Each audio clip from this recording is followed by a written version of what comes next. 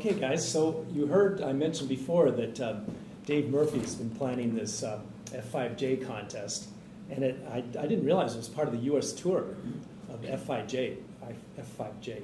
Um, and um, it's going to be, there might even be several contests here at Brigantino, so it's a really big deal to have some people coming perhaps from all over the country to, to fly in this contest. So we thought we should have a, a talk about this subject about a month before the contest. The, the contest is uh, July 14th. It's a Saturday, 8 to 3, um, and it's about a half day on Sunday, which is the 15th, and then there's even a practice day on the day on the Friday before. I think that's the 13th. So just mark your calendars, and it'll probably be a good uh, spectator sport too to see the F5Js launch. I take it. How big a group do you think will be there? Well, if it's a, if it's really U.S. tour, maybe 50 people. 50 people. So it's a, it's a real big deal. It's like Los Banos. Um, so just to talk about it, we're, we're going to, I, I, I couldn't get Dave to talk, and so I, I picked second choice as Francesco, which is one of my go-to guys, usually on a technical, very technical subject.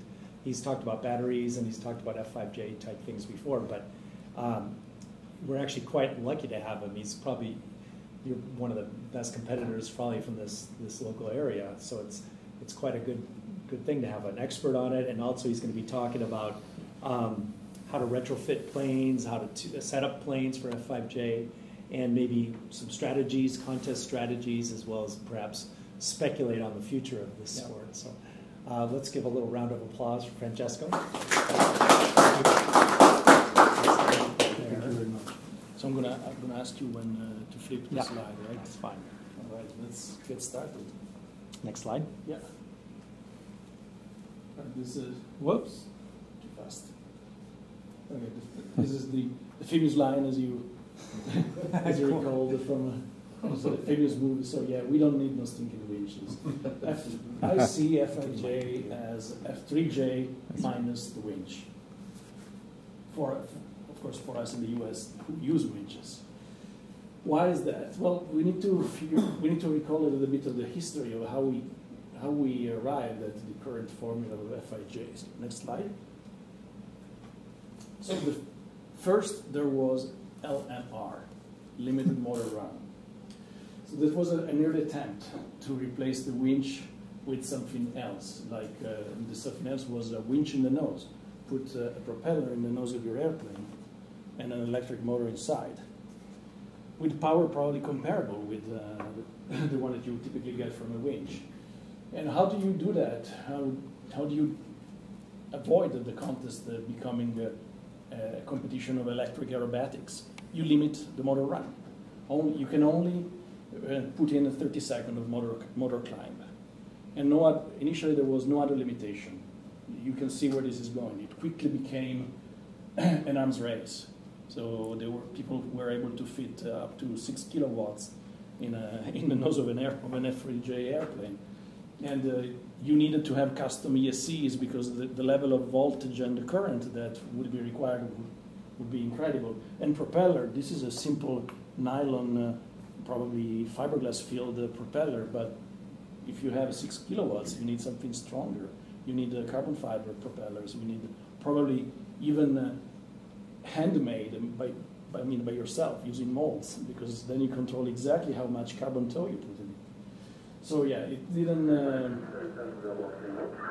it didn't really get to where the organizer wanted, because uh, it put a, really a premium on uh, overall efficiency on, of the power plant and the optimization of the power plant. So it's great if you sell motors, great if you sell batteries or ESCs, and if you're really interested in that part, but if you're really interested in soaring, that's probably not the way to go. So second attempt in the next slide is ALES. So altitude limited electric soaring, not motor run limited. The idea is uh, now that we have electronics and we can uh, we can easily get an altimeter inside our our model, can we invent something to have everybody starting uh, on an equal footing? Yes, for instance, we can decide that everybody can climb up to 200 meters, and then the motor stops. The altimeter automatically stops the motor. So as long as everybody can get to 200 meters in 30 seconds, everybody will start at the same height. And the idea is okay, it's a level playing field. Only the, the actual skills of the, the combination of pilot, uh, air reading skills, and of course, uh, aerodynamic quality of the ship will count. It's affordable because uh, it's not really a demanding task to get to 200 meters with, uh, in 30 seconds. 300, 400 watts are enough. and it's even possible to have a man-on-man contest because you can have a, a, bunch of people, a battery of people starting at the same time. Eight people launch at the same time. They find, in theory, the same air. And so the, the guy who flies one second more than uh, the other people gets 1,000 points, and the other, all the rest uh, in proportion. Next slide. Everything worked until people started uh, looking at the details. And one of the things that, at least in Europe, created lots of discussion was the ability to zoom. Okay, let's say that we all start at 200 meter, me meaning that when uh, the altimeter feels that you are at 200 meter, it stops the signal to the ESC, and so your motor stops. But then there is a significant difference whether you just crawl to 200 meters and you have no inertia at that point, or you zoom to 200 meters using uh, 10 kilowatts and uh, you, you pass the 200 meter line with, uh, at 100 miles per hour and just by inertia you zoom another 100 meters. So lots of discussions and arguments of that.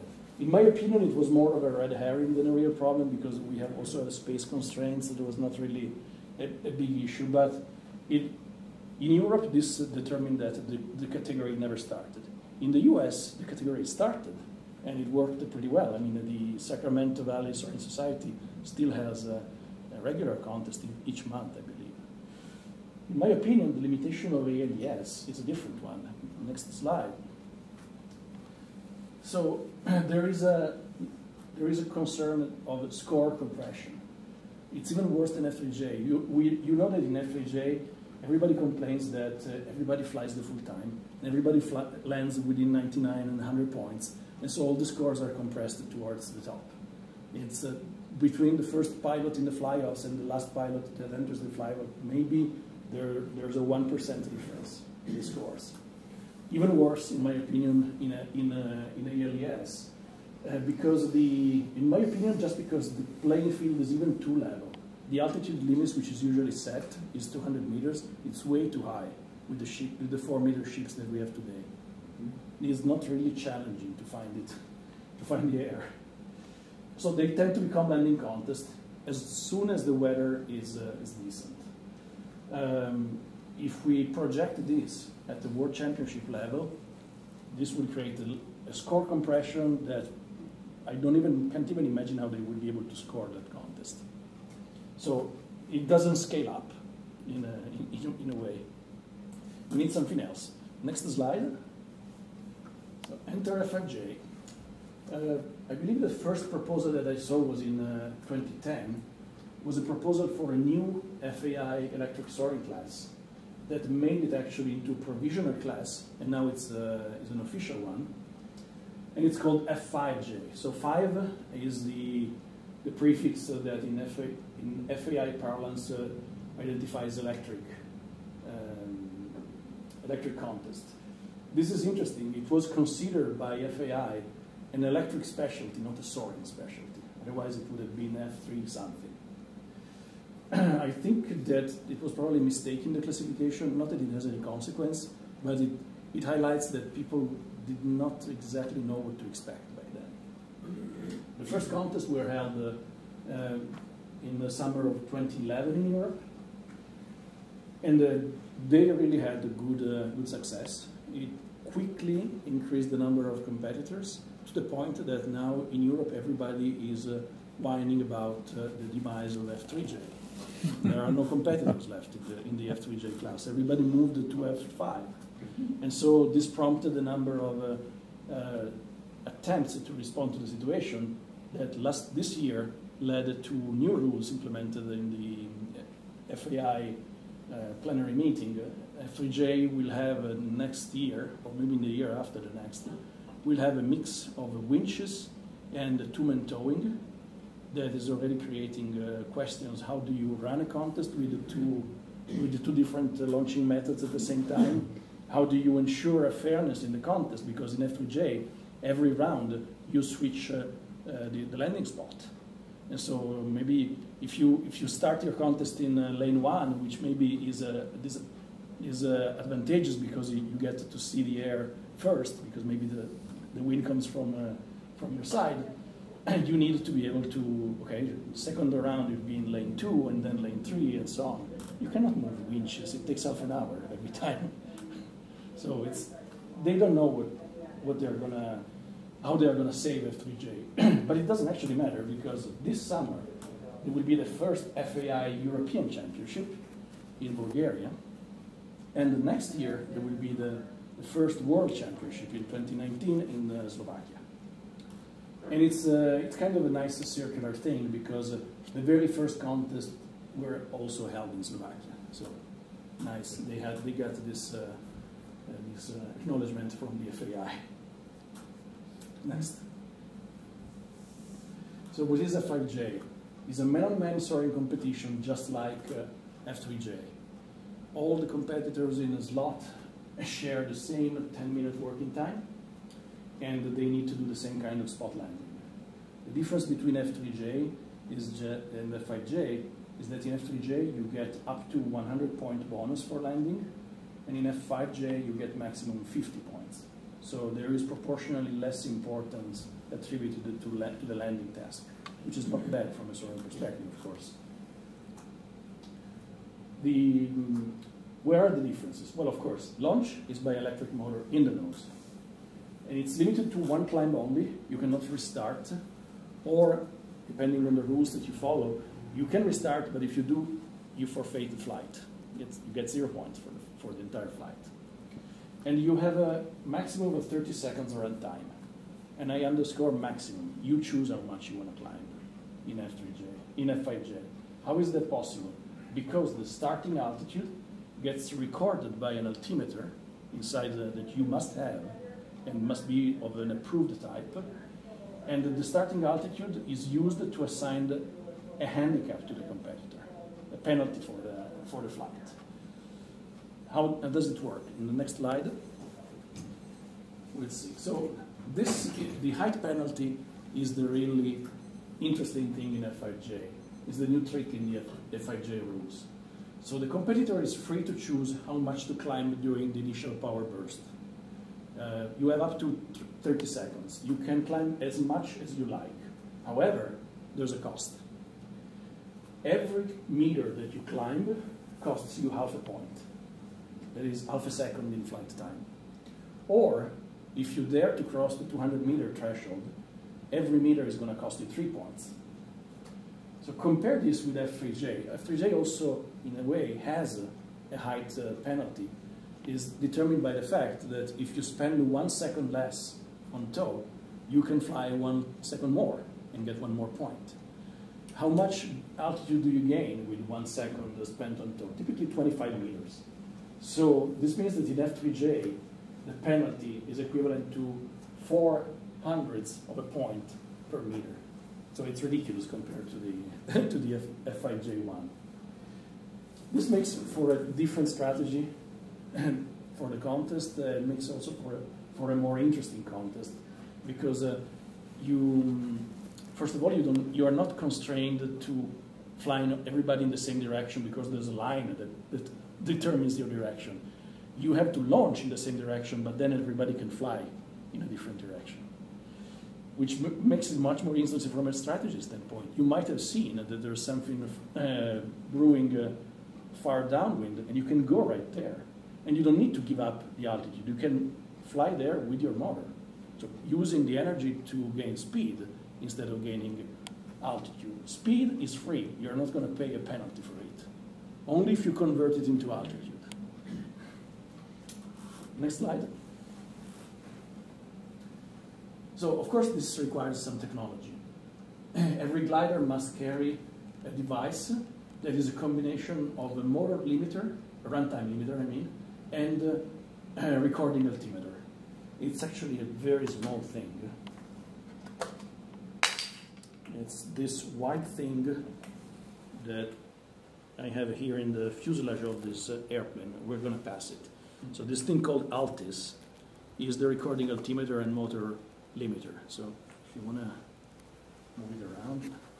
I'll hold it. I'll take it. Oh, There. So it must be of an approved type. There are a few of them, I believe five or six currently in production. It's not expensive. This one, I I think I paid seventy dollars, but there are cheaper ones, there are more expensive ones. They all work essentially the same. This one is convenient, for instance, because it has an integrated display with uh, OLED technology, so it's really well visible even in, uh, in bright daylight. There are um, types that don't have a display and you need to plug with an external unit. I, I mean, give it, if we give it enough time, we're going to have in maybe in a couple of years models with Bluetooth technology that you can read from your smartphone. I mean, there's no, that's that's not important. The important thing is that it re- records your altitude with a certain precision. And uh, what altitude is recorded? Well, it's recorded as the maximum height attained between the moment that the motor starts and you launch the plane and 10 seconds after the motor stops. Why this 10 second thing? So I, I'm guaranteed to capture any zoom. You know, if you if you have enough power to zoom for more than 10 seconds under the acceleration of gravity, well, maybe even you deserve that.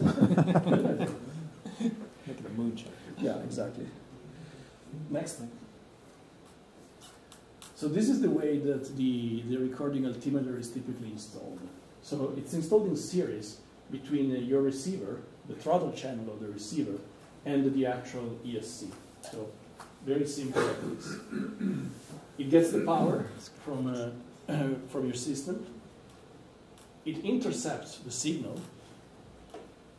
It lets the signal flow to the motor for the first 30 seconds, and then it sends a, a low signal for, uh, for the rest of the time. So you're not going to be able to restart.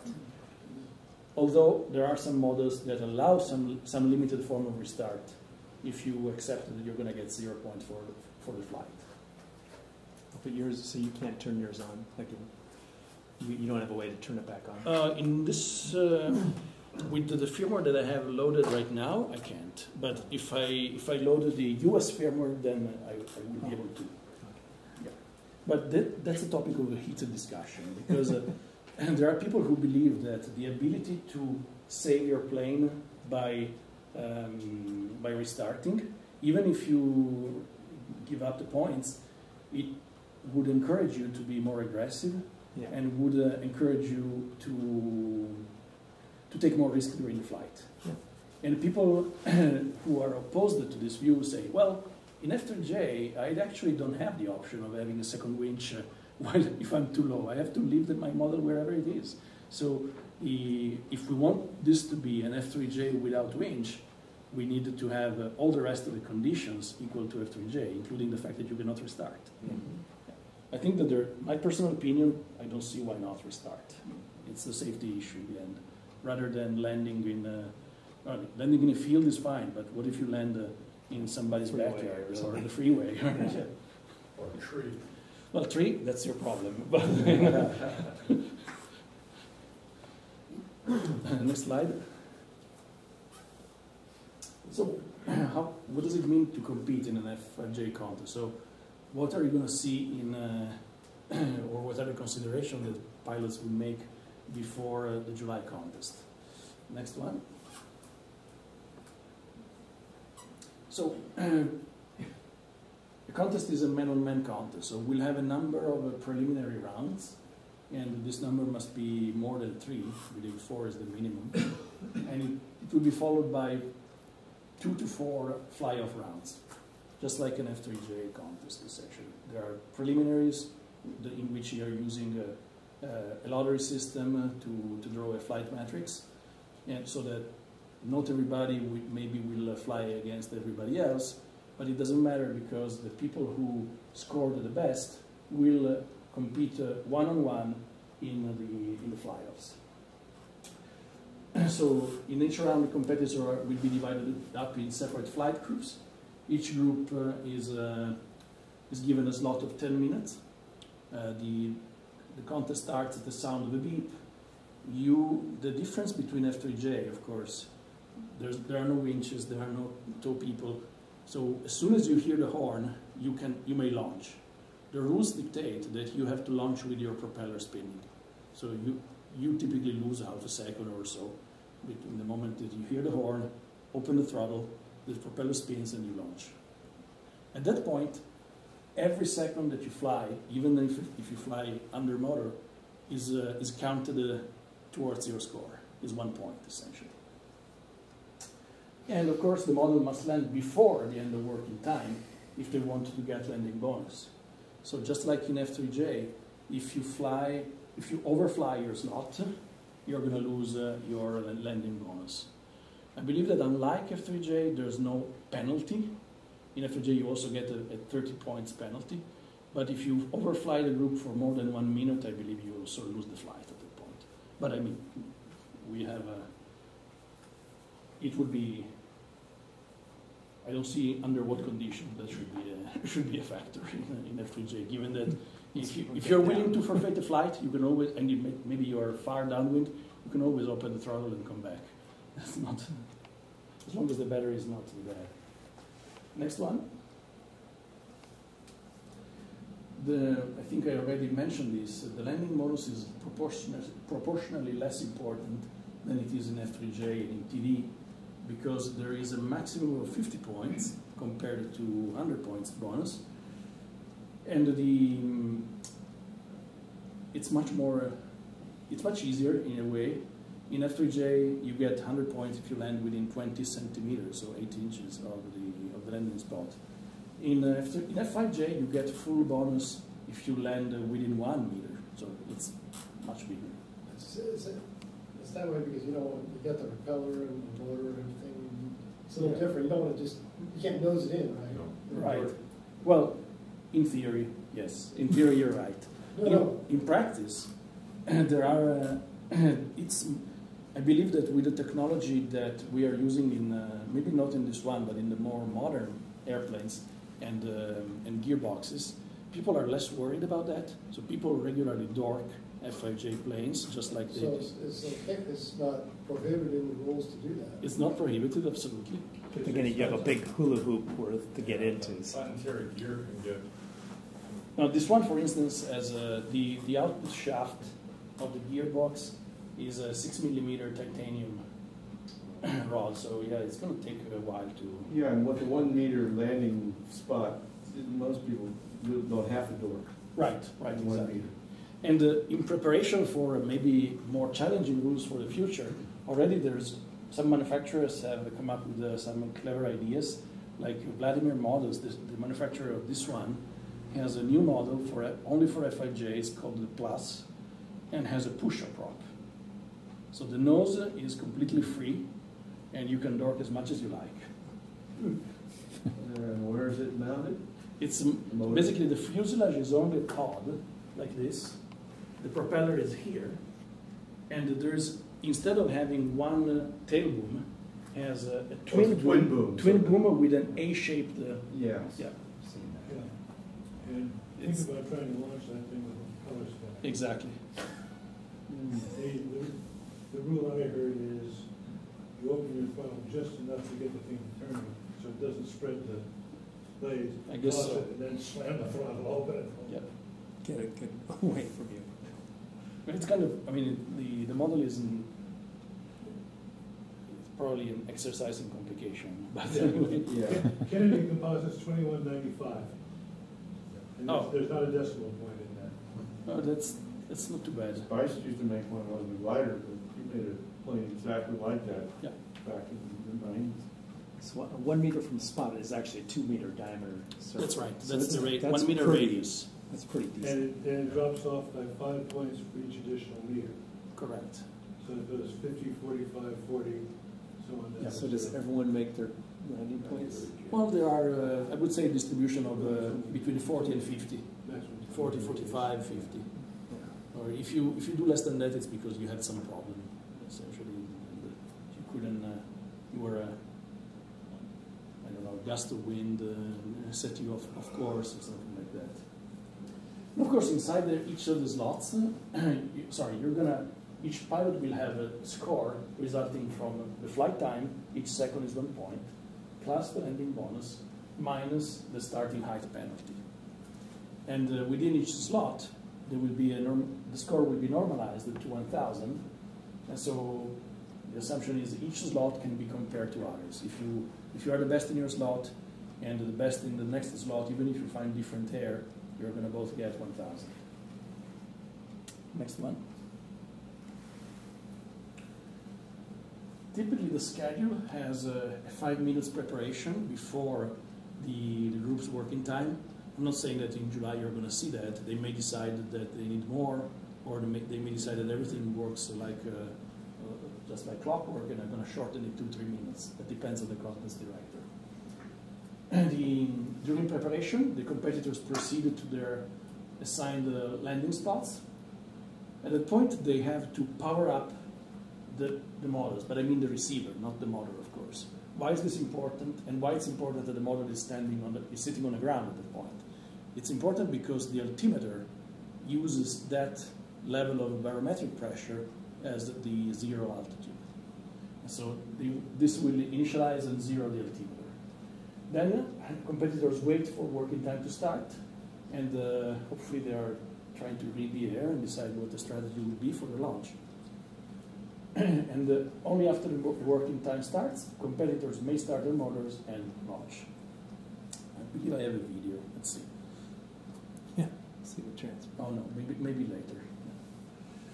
What, what is the sound that they listen to just to actually launch? It's typically a horn. I mean, most most uh, most contest directors use a program that has a number of samples that you can use, but I believe the horn is the uh, most recognizable one, like an automobile horn. Is, is there a countdown, like five, four, three, two, one, It's beep? it's not mandatory, but it's considered a good form to provide it. Yes. Gladiator score has it? GliderScore has it. And uh, again, it's, it's not mandatory to provide the visual uh, clues, but it's good form to have a, a nice big display like the one that uh, Chris Bajorek has, has No, built. We're not gonna have that in September and October, folks. I'm not putting out 200 some odd bucks for this one. Yeah. Yeah, my, in my opinion, uh, I think that the only mandatory thing is the at 10 second notice, the starting horn, a two minute notice uh, before uh, the end of the working time, and the final horn. But of course, uh, everybody's happier if you can provide the countdown. And GliderScore, I believe it does. Um, well, it's not mandatory to launch at the beginning of working time, although, as you can imagine, everybody would want to do that because uh, every time, every second that you don't spend in flight is not going to bring you points. the launch direction, the initial one, is the same for everybody, and it's decided by the contest director. This is done to avoid, of course, crossings and the inevitable collisions. However, once the models are airborne, you can steer your model wherever you like. Of course, trying to avoid other, other models. The timekeepers are supposed to start the timers when the motor leaves your hand. So, unlike F3J, where time spent uh, attached to the line does not count towards your score, time spent uh, under motor does count in F3, F5J. And again, once they are airborne, you can decide where you want to fly. And of course, you can, at that point, you start pursuing your strategy. That's where the, the contest has already started. So you're not constrained by line. You have to, hopefully, you've read the air before the, st the, the starting sound and you know where to go. Next one. While this happens, competitors typically, either in their mind or on the radio or with their helper, count down from 30 seconds because after 30 seconds the motor will stop automatically. And uh, at the same time, they will be reading the air and hopefully also observing what the other competitors are doing. So this has become a part, an interesting part of the strategy of the of flight. It's um, reading the air is difficult while you are climbing at 10 meters per second. So people who feel, uh, yep. You say timekeeper, so there's a timer for each pilot? Well, if you run a contest by the book, yes, you should have one time So can a timer um, talk to the pilots as far as where the other competitors are in the air? Yes, the, the, the issue is this. If, the, if you're running a big contest and you have official timekeepers, like uh, people from the local flight club, they are not required to tell you anything, but they may do it if they, if they want to help you. If you, but in, in smaller contests, probably your timer is also your helper, so certainly it's going to help you. Are you allowed to have, if there's official timers, are you allowed to have a helper? with Yes, you are. One helper. I- I have a question on that time too, it's quite obvious, but it's almost like the way this is done, you could almost eliminate a, a timekeeper, and, but you can't, because the timer is part of the landing and all that. Very good. It's the landing is the problem. Because the just like the rules for F3J, the the mm, the timer is supposed to stop. He's a judge too. Yeah. The timer is supposed to stop at your first contact with the ground or with an object rigidly connected to the ground. So if you if you graze at the top of a tree, that should stop your, your timer. If you, I mean, I've seen people come in, they were running late, and so they would not have come arrived at the, spot uh, within the, the flight time. So what they did is to dive fast, touch the ground at the point that the timer stops, and then with all the, with perfectly calm land on the spot because at that point they are no longer on the clock. Mm-hmm. so with this kind of vari- variability, it's hard to have an automated system that recognizes that. If I dork, if all the landings were dorks, that would be easy. You put an accelerometer and you detect the, the moment of landing. But if you do a grazing landing, it's much harder to get. Good good answers, thank you. Uh, so um, it was, I think I was talking about the strategy. So it's hard to read the air if you're flying at, uh, if you're climbing at 10 meters per second. The tendency that I see is that people initially have a direction that they already know that they want to go. They might have identified a, spot that they, they like to, to try far away. So they may have uh, maybe five seconds of a fast horizontal flight to get there. Then they reduce the throttle to a bare minimum not to stop the motor. And they start reading the air. They start feeling what's there. If they don't find anything, maybe after 10 seconds, they open, they fully open the throttle, and they climb maybe at 20 meters per second to gain as much altitude uh, as they can, because they, they, their strategy didn't work, so they're, they're going to try to, to get as much as they can from the situation. Oh, so it's not a full throttle flight, Yeah, you have control of the throttle. yeah. So this is why. Sorry. I don't know anything about this, is all new to me. Yeah, well, when, when this um, when this classes started, people were actually debating whether you needed a, a throttle control or you just needed a, a two-position switch on and off. Well, if you want to do that kind of thing, you need to have a proportional throttle control because uh, you need to be able to reduce the throttle and feel the air and open it again. And that's all in thirty seconds. It's all in 30 seconds. So if you want to climb quickly, I mean, I've seen uh, some friends of mine in Europe have uh, power plants that can give them up to 25 meters per second, so that if they don't find anything, it's only going to take them uh, five, eight seconds to climb from zero to 200 meters. So it's always uh, it, it's pow- evolving. So uh, power still matters. yeah, power still matters more, and it's uh, it's interesting because initially it mattered nothing, and now it's climbing up on the importance scale. So yeah, strategies may vary. One can decide to climb fast and shut down, or speed horizontally with a shallow rate of climb, or any combination of these. And of course, this will dictate your requirements for the power plant. Next. So yeah, once the motor is stopped, it can be restarted. Consider this with an asterisk. It cannot be restarted unless you want to lose your flight. And at that point, Once the motor is stopped, given that you cannot uh, have it back, uh, it's a plain thermal duration task. You have to find uh, thermals to stay aloft. And given that not all competitors may find uh, the thermal and uh, they may have chosen a different uh, starting height, not all competitors may be able to complete their working time.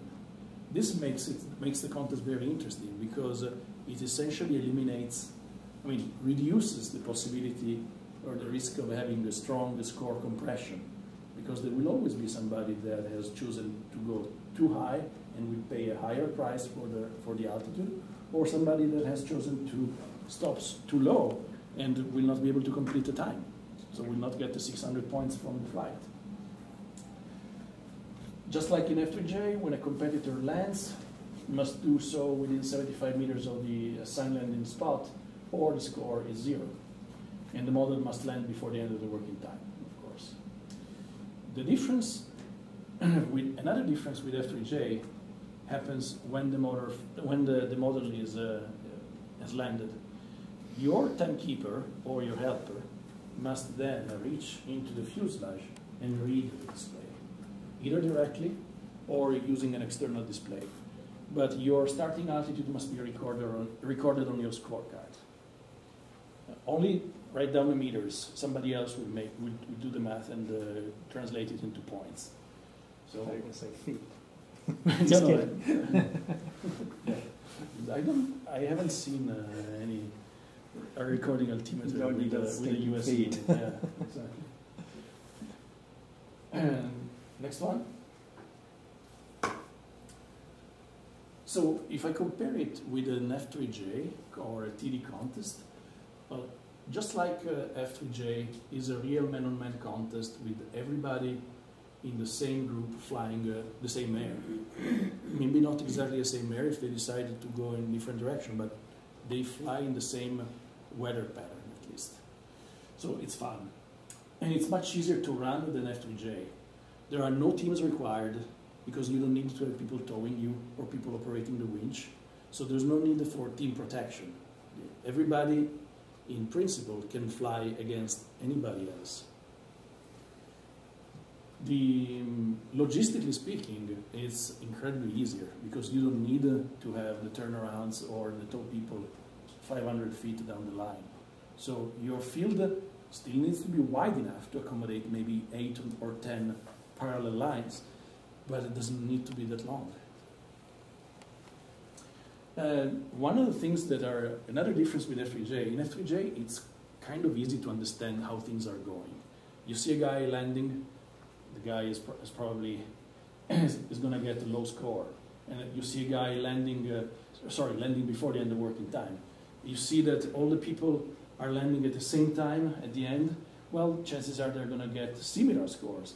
Not so, not so in F5J. It's hard to tell what's going on just by looking at what the competitors are, are, are doing. You need to look at the, at the scores. So it, the strategy is a little bit more challenging. Next one. So this is an example of what you could see in a, in a scorecard. A math problem. Sorry? It's, it's a math problem. yeah, exactly. Yeah. So competitor A flew for 9 minutes 58.3 seconds and started uh, at 180 meters and landed uh, not perfectly, let's say 40, 40 points. So 180 meters will cost uh, this competitor 90 points. So the raw score is uh, 550, sorry, 598.3 plus 40 minus 90, 548. That's the raw score. What, what about the other competitors? Well, competitor B uh, only flew 7 minutes 22 seconds, but stopped his motor at 150 meters and also got 40 points for landing. So if I do the math, this competitor has a 407.5 points raw score. But now, here is how things get interesting. Competitor C didn't fly entirely the working time. It landed at 8 minutes 40 seconds, but he started the motor at, he stopped the motor only at 40 meters. And maybe he did a good landing, 50 meters, sorry, 50 points. So his aggregate score is 550, is actually higher than competitor A, who apparently, I mean, he has a, he flew the entire time, so you would say that he, he won. He actually didn't. Competitor C won, and everybody else got in proportion. And competitor D was also, also managed almost to beat the other guy, despite the fact that he flew almost the same time, started the, stopped the motor 10 meters higher, but he did something, uh, he did slightly better in the landing task. And this applies to each individual uh, slot in each individual round. Yep. The raw, score is on, seems close, but yet is that a normalized score next to it? Yes, the, the, that's the normalized score. So the highest score conventionally gets 100 normalized points, and everybody else in proportion. I mean, a thousand, Yeah, sorry, what did I say? one hundred. Oh, no, one, 1,000, sorry. Next. So this is a real score, score chart from, uh, from one of the first contests in uh, 2011. And Gee, who won that one? no, no, this was, uh, it was not the final one. No, I didn't. uh, you see, the, each of the rounds, there's a one. Uh, there's actually more people with a 1,000 because uh, each round uh, had five slots. So you see one, sorry, four. One, two, three, four thousands in uh, round one. One, two, three, four, five in uh, round two. One, two, three, four, five in round three, and so on. And that in the end, you sum everything. Th- This is nothing new. It's just like F3J. And GliderScore does this for you. Next one.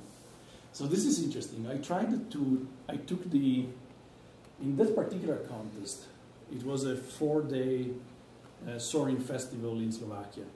We flew F5J Thursday and Friday, and F3J uh, Saturday and Sunday. And this is the, the statistical distribution of the scores at the end of the preliminary rounds. In F3J, you see this is a this distribution has a peak around the, the maximum score essentially. So it's it's hard. They are uh, fairly compressed, as you can see. In the next slide, this is the distribution in the F5J contest. So you see, the the median is not the highest score.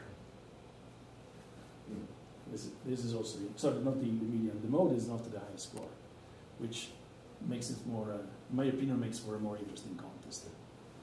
I haven't done the same uh, kind of analysis for more recent contests, but now that we have an, a US tour for F, F5J2, it would be interesting to.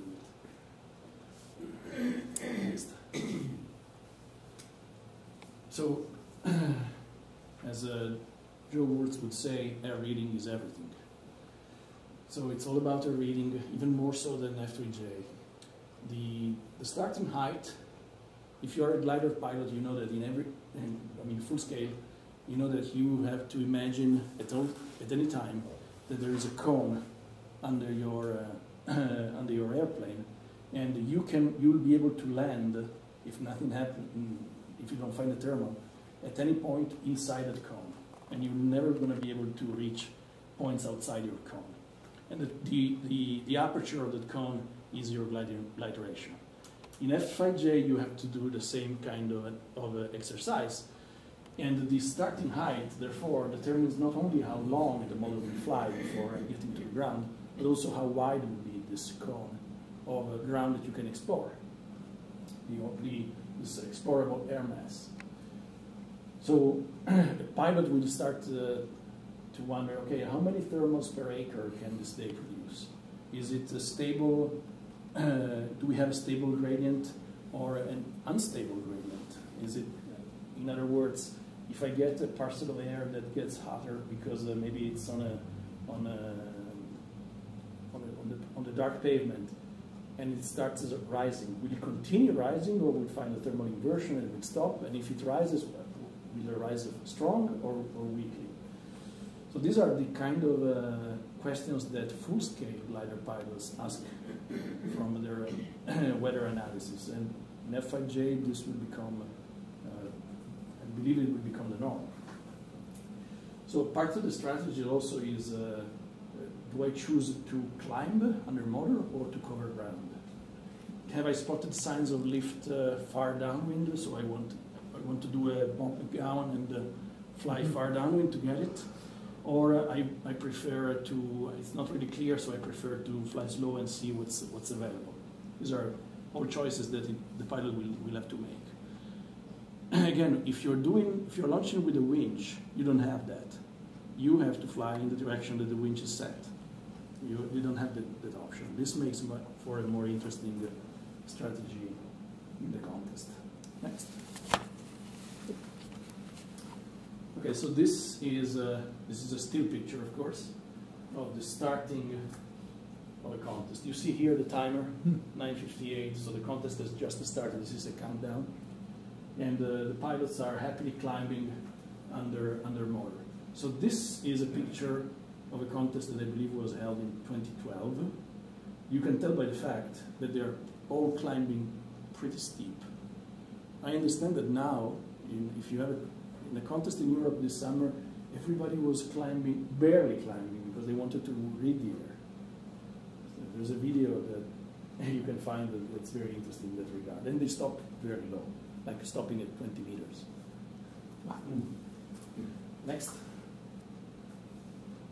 Well, this is Joe Wurts, who competed, uh, I believe won, the F5J contest, uh, the first one that they held in, that Vladimir, Vladimir's model held in Ukraine in uh, 2014. I believe this was uh, actually taken in Ukraine. I see a Ukrainian right up there. And uh, Joe Wurts is flying essentially this type of model. That was before he created this uh, the plus model with the, with the twin boom. Next. This is a landing, as you can see. Yes, people do dork, especially if the ground is soft. Next. Is there any, any marker? You can't go, oh, I see a tape. You can It's a draw- little bit of tape. Is that it? to the Uh, right of the yellow one. Oh, model? yeah, there's a tape. Oh yeah, the tape is here. Okay, so yeah. it's just Yeah. tape. Yeah, but it's hard to tell because the, the grass the grass was uh, high. But it looks like Joe is landing right here. Yeah. Body English is very important. Okay. Next. Uh, this is probably a video. Let me see if, I, if we can start it. It might be that it's on your stick. No, don't tell me. No. Yeah. So this is the preparation time before uh, a contest in um, in days. Maybe we can volume. Oh, it's already. As you can see, people launch with uh, easy gliders or uh, what is it, the Radian, not easy glider, sorry. And that is a Maxa. It's not mine. You see what the guy is doing is flying horizontally, and the other guys are climbing like mad. Different strategies.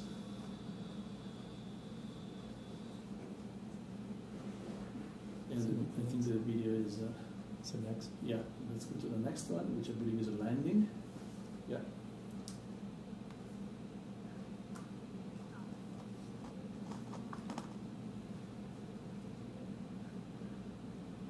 That's the spot.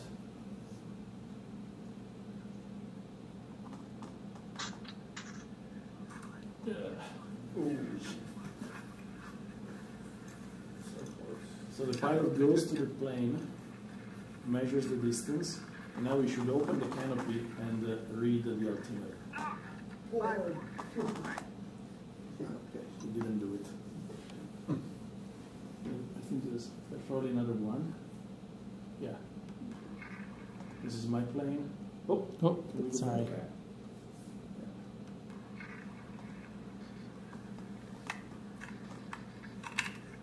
Yeah, so you open, and uh, and this is the refresh rate of the display playing tricks with the, the camera. But you see, 155.5 meters.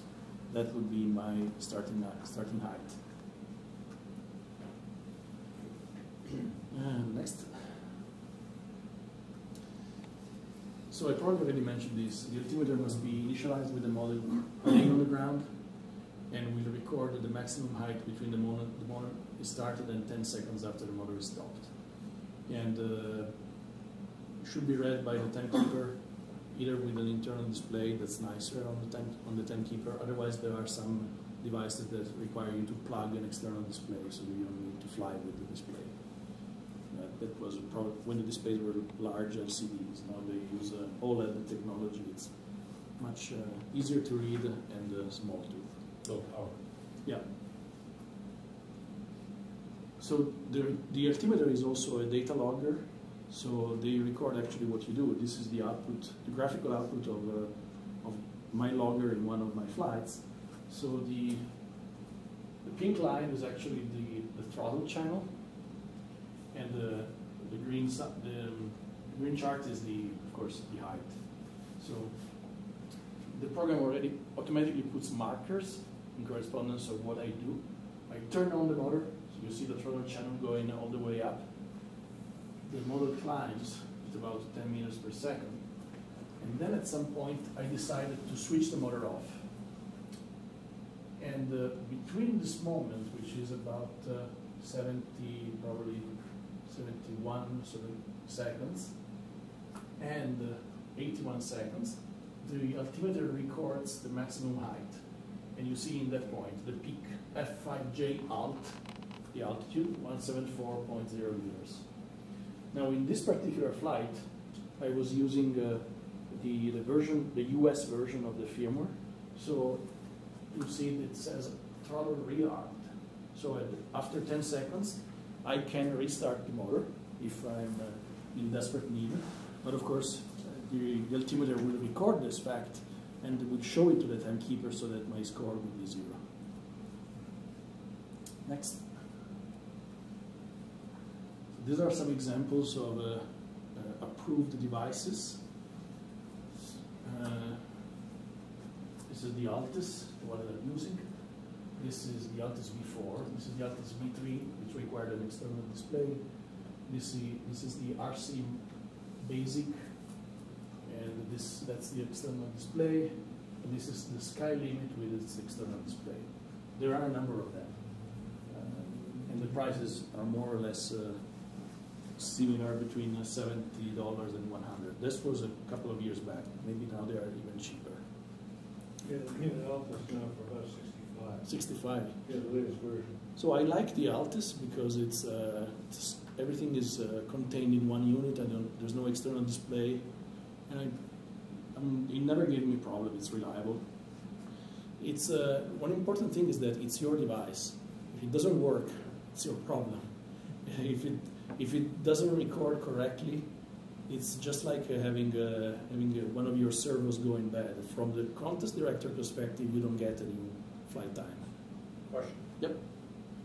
In a contest, would it be a good idea to have two, one in the plane, and if it, if it for some reason stops Fails, working, yeah. you can s- sw- swap? Yeah, it would be, although it's not exactly easy to swap them in the crammed fuselages of, uh, of these airplanes. But yeah, it's possible. Yeah. Next. All right, set, setting up an F5J sailplane. So there are different options. Uh, let's go to the next one. So this is a little bit, uh, this hasn't aged too well. It's true that virtually anything which is good for ALES or uh, electric thermal duration is also suitable for F5J. It's technically true. However, if you want to be competitive today, I don't know in the US, but in Europe, you need to have very lightweight airplanes. And when I say uh, there is a, a minimum wing loading that the FAI has always mandated, and the minimum loading was 12 grams per square decimeter.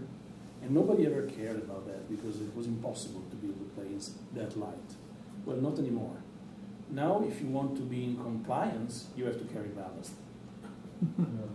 So it means uh, we're talking about something like uh, 1,090 grams for a 4 meter airplanes. How many ounces is that? Uh, it's not, it's a Somebody thirty, said there was a thirty, 40. thirty, thirty-five, uh, That, Yeah. that boom boom thing, yeah. Kennedy advertises it as barrier frame rate, weight twenty-four ounces, ready to fly weight thirty-two ounces. Yeah. Yeah, I know there were, there were guys at the, at the last contest that we had, that was in the forty ounce category. It was, it's amazing, I mean, these are huge airplanes. Was it thirty-five, maybe it was thirty-five.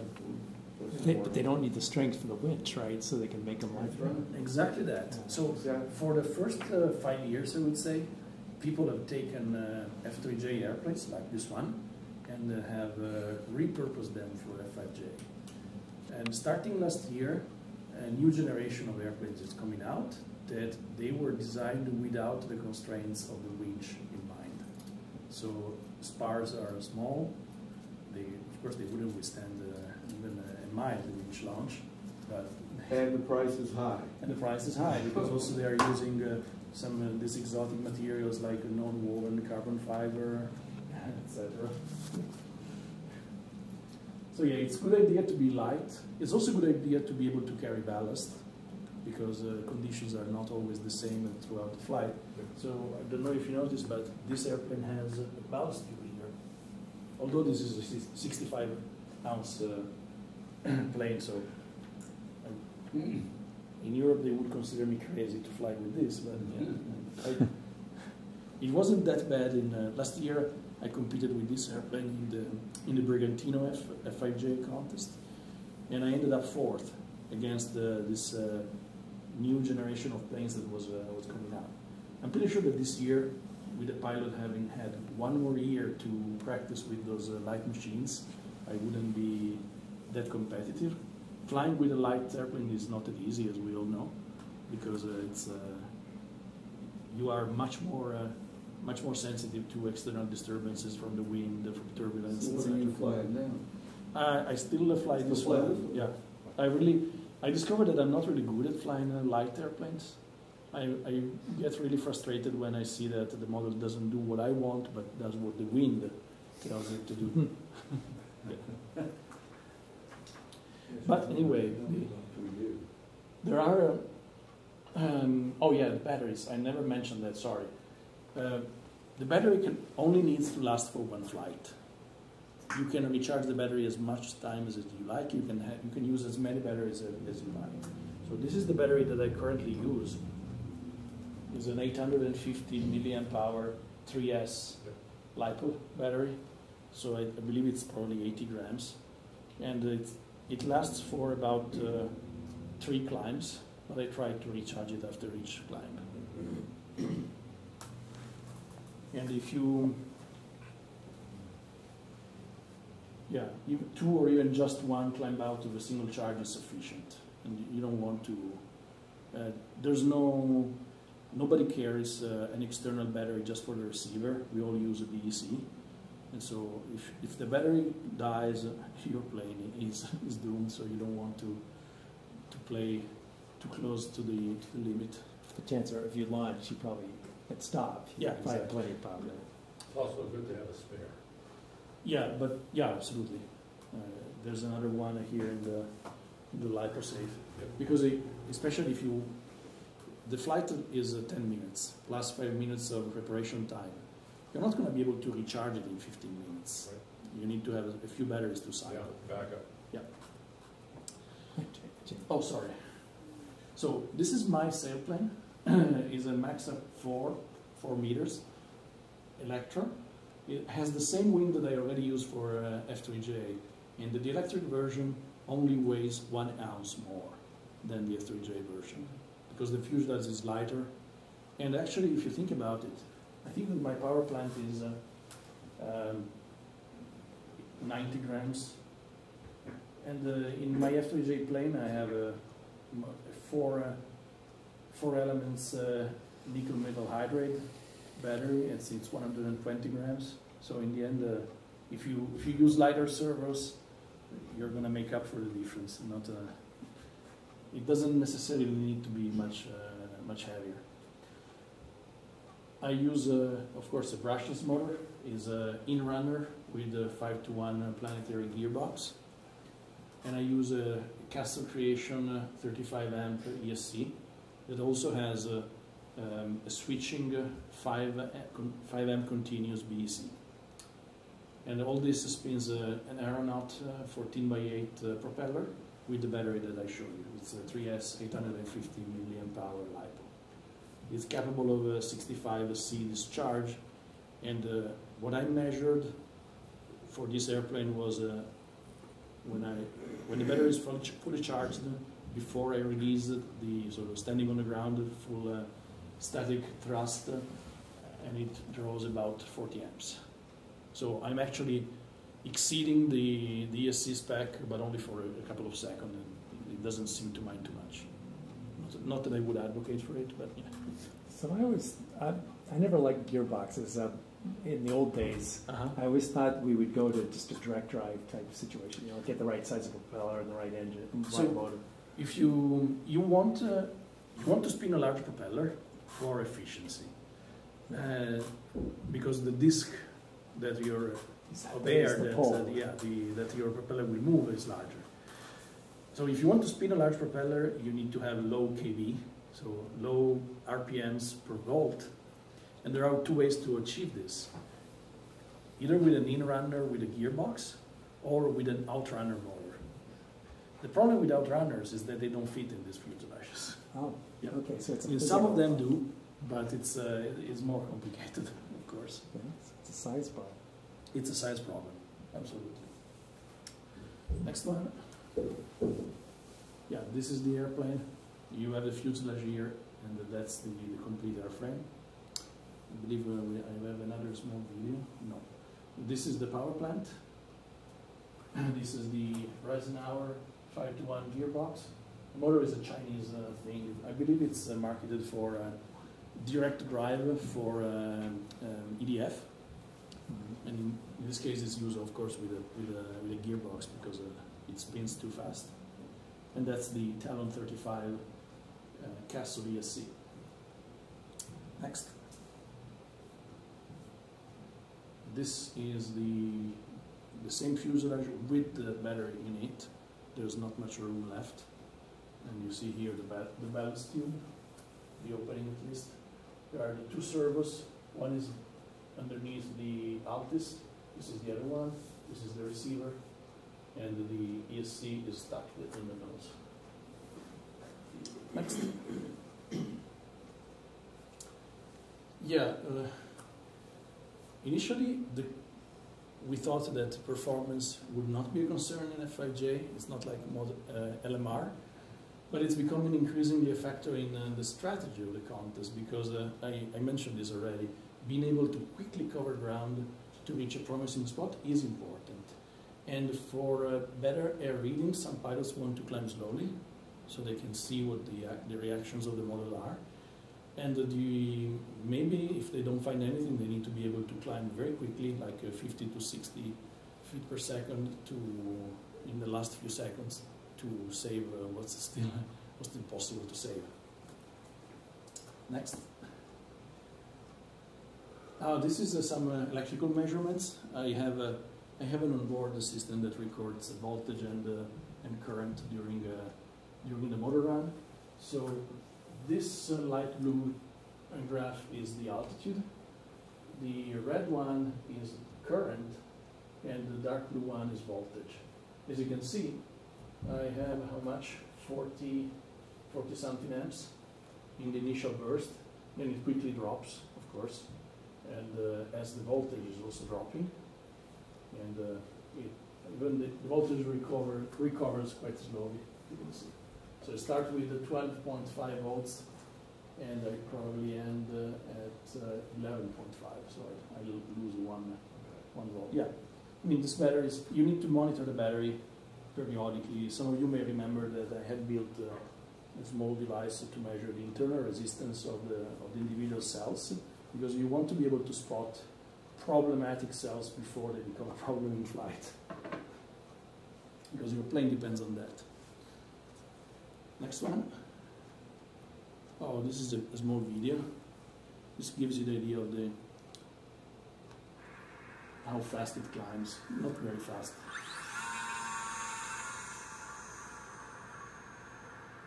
doesn't really climb vertical. It's probably a 45 degrees ramp, and it, between us 8 and 10 meters per second. Now, how to run an F5J contest, you may find it interesting. Okay, let me so, uh, how many pilots will be able to accommodate in a single slot will be determined by the size of the field. Because you need to put the landings, the launching and landing spots 15, at least uh, 15 meters apart from each other, so 50 feet. Only four at. Brigantino? Yeah. Okay. And of course, you may not be, if the, if the field is not square, like Brigantino, uh, the direction that you're going to lay the, the spots depends on the prevailing wind. And I guess in the case of Brigantino, we're going to have to put them on the, on the narrow side, right? Yeah. Yeah. You have to go along the long It's direction. The opposite of what you need for the Correct. for a winch sled. But of course, the, this, uh, given that, uh, let's say that we, if we have a, if you can accommodate four spots, and let's say you have uh, 50 entries, you're going to have to run 12 uh, spot, 12 slots per round. It's a lot. It will take a long time to do it, so I don't know. Um, so, depending on that, you may need a, a one day or two day contest, but you already know that in your case it would be a two day contest. Typically, you're going to fly one full day on, uh, on the first day, half a day on the second, with a stop for lunch, and after lunch, you're going to run the fly offs. Maybe two or three rounds. You're going to have to mark the, the landing spots and put uh, landing tape for each of them. Uh, there's actually not much uh, else that you have to set on the field except for the audio system.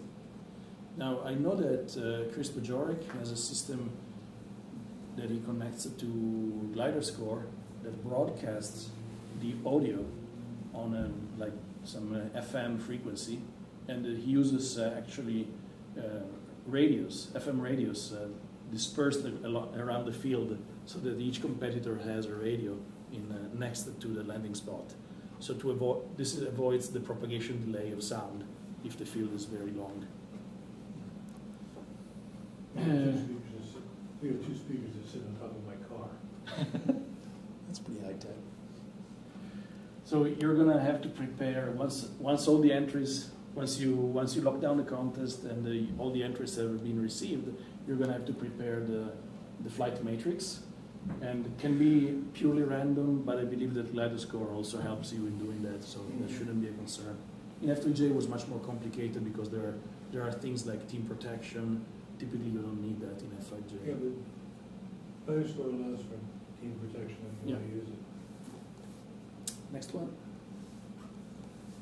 yeah, so you need to provide uh, either audio or visual signals for the start of preparation time, the start of working time, the two minute marker to the end of the working time, and the end of the working time. Everything else is uh, extra. So some people run it with a computer, some people run it with a CD that just has the, the soundtrack for one round in, in it, and they play it uh, continuously with a continuous repeat. If you use, uh, of course, if you use GliderScore, you need to have a computer, so you might as well use it for the generation of the audio signals. Uh, a printer is useful for uh, if you want to provide printouts uh, after each round. We, um, I would dispute that because uh, exactly because uh, it's hard to understand how things are going just by looking at the flights. People will want to know how, how is the how is the contest going, and the, the only way to either they're going to look at your display screen, or they want to look at printouts. Sorry. Well, anyway, I guess I need a bigger AC converter if I'm gonna bring my HP printer along with me. Bob has a generator. Huh? Bob has a Generator. generator. Or the pilots can have a smartphone. Uh. And the Lidus, the Lidus score can be set up with a, No, no, Wi-Fi. No, no, no. it can be done, right? No, So Well, the- no, it's, uh, well, but just instead of email set it. Scores in, from phones, it's not set up to send anything out to a phone. Uh, so GliderScore, I understand, uh, correct me if I'm wrong, it can also be run in the cloud. So you can upload it to the cloud uh, each round if you have a working internet connection, so that the pilot can uh, look at, as uh, Yeah. as Randy pointed out. But that requires uh, to have an internet connection. So I Well, don't. but all, all the smartphones have a hotspot in not in today's world. They do, but is there cell, cell coverage where you're going to fly? I think we do have. Yes, we have great cell coverage. Okay, Yeah. then yes. That could be done. Yeah, Okay. it'll be done, it's just the range of the, the, the hotspot isn't what it is for the router. Yeah, but you don't, you don't even need a, I mean, if you have a, you don't need a hotspot. I mean, the computer may rely on a hotspot, but then the individual competitors don't need to all- connect there. all- my, my computer, all you need is a Wi-Fi hotspot. For your computer, you don't, you don't, yeah, you don't need it for the. you All don't the need it for competitors have their own contestant, smartphone. Because they've got smartphones, so Yeah. it doesn't need a Yeah. hotspot. But yeah, So that goes to the cloud and then back to you, uh, through the, wa- through the hotspot. Well, that's for scoring. Well, they, they have to be able to see the scores too, since we're not gonna print them. So Right. They can see them on their smartphones.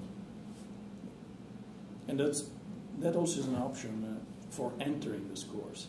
Yeah. I mean, The traditional way is to print out scorecards, but I saw people that uh, do it uh, with, um, with, via the web, so each competitor enters their scores. Yeah, Gli- GliderScore will print out cards that are compatible with using a hotspot.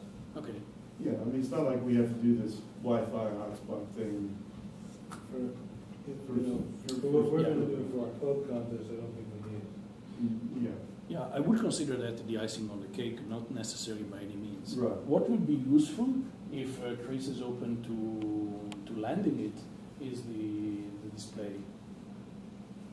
He has a big LED display that competitors will find useful. Yeah, you can buy it on the web too, Buy, yes, but I think, I mean, I two hundred some odd bucks. It's a nice, and then you have to assemble. oh, yeah. And the, the computer needs to be able to drive it, so I don't know if it needs a So I think serial or USB. I think it drives off a USB port. Okay. Next one. Oh, that's the, that was the last one. So, Okay. I, I hope it didn't scare anybody off the idea of flying just because now there are lighter models. Actually, what I wanted to show you is that there's people who make these things. This is basically a, a firewall that you can use to retrofit an, your existing F3J plane by cutting the nose Pass that around. and, and gluing that in. Yep. Is a CNC machine from uh, from aluminum. They are commercial. They are people sell them. different sizes, I suppose. Yeah, different sizes, uh, different uh, motor bolt patterns. This one is a four four bolt. I have also a three bolt. And who makes that? Um, I would say right an hour, but I'm sure that there are. Is this a uh, fellow that sells on RC groups? yeah, for sure, and I'm sure that there are people in uh, in the U.S. who, who sell them. So that's a firewall? I've had a couple of Yeah. things I wanted to do, but I was never satisfied with what I came up for a firewall. Yeah, this is. Uh, That's a I good- these are that's a good nice. decision. CNC CNC mills.